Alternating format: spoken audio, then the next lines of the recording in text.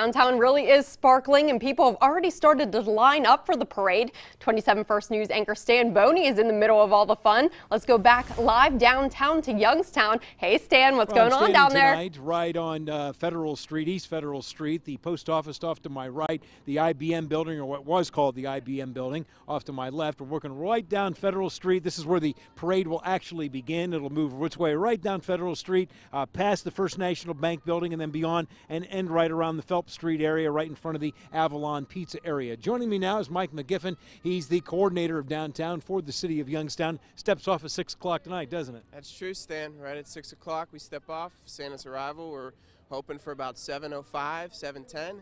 Once he gets in, we'll, we'll turn all the lights on throughout downtown, it's going to be a pretty nice celebration. Are you expecting the parade to last an hour? Yeah.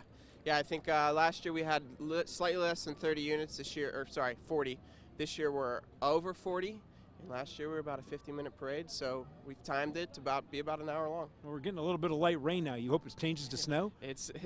I don't think it's going to change to snow, but I do think it's going to go away. So uh, maybe your weatherman will cut in and tell me different, but I hope he proves me right. And you'd like to see people stay down here tonight after the parade and enjoy downtown Youngstown. Oh, absolutely, and that's the whole goal. So we ha- we've got a multitude of activities going on.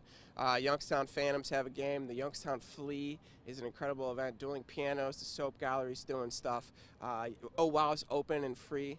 So there's there's plenty of activities. If you come down, you don't have to stand outside. You can go inside and get some shelter and some fun. All right, Mike McGiffin, thanks very much. Thanks, Enjoy. Dan. We'll see you around tonight. Once again, the parade steps off 6 o'clock, heads right down Federal Street. Uh, we're going to be kind of hanging around the uh, starting point here. Matter of fact, I saw a Ghostbusters car. I mean, a real good looking Ghostbusters car coming up up the street here. We'll have that for you coming up here shortly. Live in downtown Youngstown, Stan Boney, WKBN 27 First News.